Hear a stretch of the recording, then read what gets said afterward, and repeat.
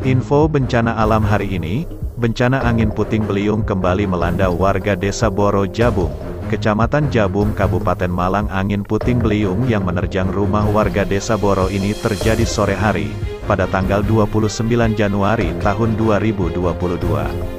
Tampak angin puting beliung merusakkan banyak rumah akibat terjangan angin tersebut dan masih belum diketahui apakah ada korban jiwa dalam peristiwa ini. Awalnya terlihat hujan deras yang mengguyur wilayah Jabung dan sekitarnya.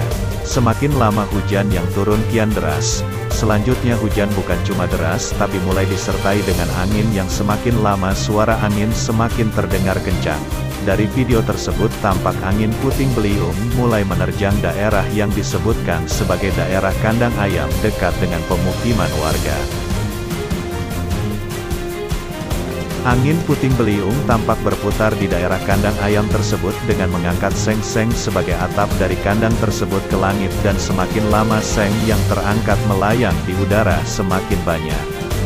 Warga semakin panik saat angin puting beliung itu mulai masuk ke pemukiman warga.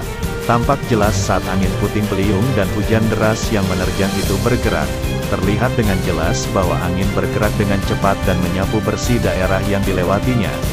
Angin tersebut mengangkat genting-genting, atap, seng-seng dan semua terangkat angin yang ikut bersama angin puting beliung dan hujan deras itu. Ada banyak unggas di kandang ayam yang ikut terbang serta tak luput pula isi rumah yang dilewati oleh angin puting beliung.